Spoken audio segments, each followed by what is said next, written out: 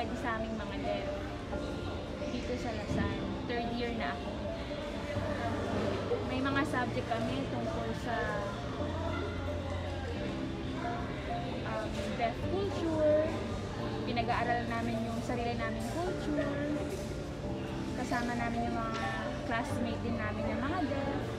So, mas na-express namin yung sarili naming culture, pinag-uusapan namin ito, kung ano yung mga nararanasan namin sa pang-araw-araw. Yung teacher, nag-discuss siya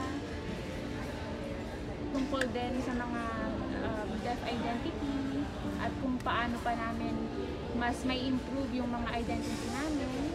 So marami kaming natututunan tungkol mismo sa culture namin. Kapag galing ako sa bahay, tapos pupunta ako ng school, sumasakay ako ng jeep. Pero, paano ko magbabayad? So, yung pamasahe ko kailangan barya lang o kaya eksaktong halaga lang para madali ko maiabot dun sa driver. So, pagkatapos ng jeep, sasakay ako ng LRT, pinapakita ko yung cellphone ko kung saan ako bababa. Ita-type ko yung Vito Cruz. Papakita ko yun dun sa cashier, tapos yung ID ko para makakuha ko ng ticket.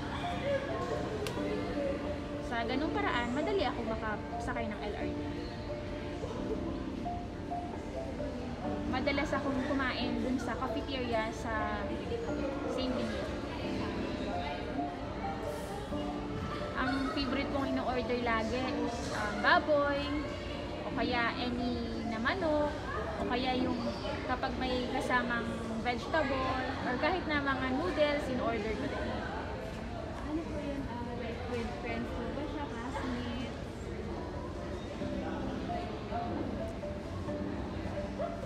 Ah, minsan, mag-isa lang ako na bumibili ng pagkain sa cafeteria. Pero kapag available yung mga friends ko at meron silang time na magkita-kita kami, magkakasama kami kumakain.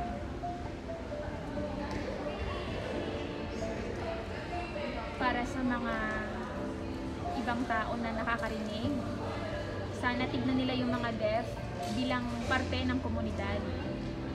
Sana makita ng mga tao na kaming mga deaf, meron din kaming ide- identity, kahit na nagyasanyasan lang kami, sana makuha namin yung respeto mula sa ibang mga tao. Kasi yung mga hearing din, may culture din naman sila. Kami din may culture din kami bilang mga deaf. Pero nirespeto namin yung kultura ng mga nakakarinig. Kaya sana makuha namin yung respeto mula sa mga taong nakakarinig.